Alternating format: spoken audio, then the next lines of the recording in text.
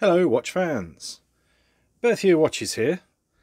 This time for you we have this rather delicious blue circa 1967 Favre-Leuba Sea Chief. Now obviously the blue dial with this white chapter ring is the most striking thing on this watch but it's also a 35mm case, stainless steel, screw down case back and it's an interesting movement as well. This is a twin barrel movement which allows for a greater power reserve and it allows for a smoother power delivery. You imagine you've got one large spring. When that releases the power, it really does push two smaller springs, feature in this watch, and it's just that bit smoother. You'll find pictures on birthyearwatches.com of the movement so you can see what it's like. Now, Favre-Leuba watches, unfortunately, they are faked and frankened. Awful lot of these on Evilbay from India.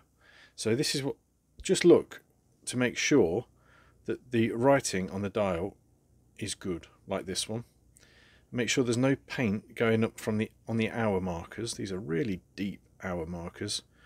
You see there's no paint rising up. This you it's difficult to describe, but on the uh, fakes and the bad Indian redials, you'll see that it's been slapdash on there as if someone just described it over the phone rather than a seen, seen in an original.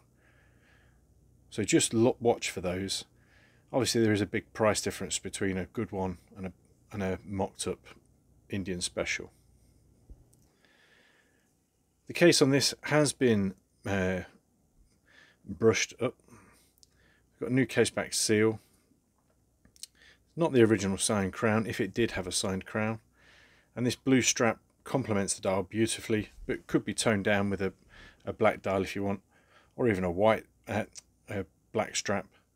A white strap could look quite sporty on this too.